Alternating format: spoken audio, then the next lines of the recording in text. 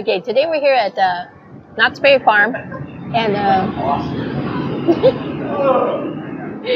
um, I went to Charleston Circle Coffee and got this uh, gingerbread uh, Snoopy cookie, which was uh, six twenty-five. So I actually saw this cookie uh, last time we came at uh, Merry Farm, I think it was, but I didn't get it. So, and the Ghost Town Bakery didn't have it today, so I went to Charleston Circle.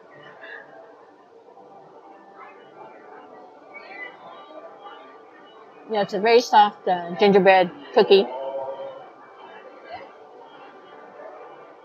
This one doesn't have any all the icing on top of it before they put the his face on, so it's less icing.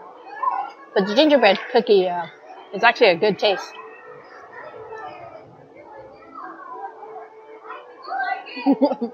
Got no more nose. yeah, this is actually really good. Um, good, good ginger taste in the gingerbread. So let's see. I'm gonna give it. I think I'll give it an eight.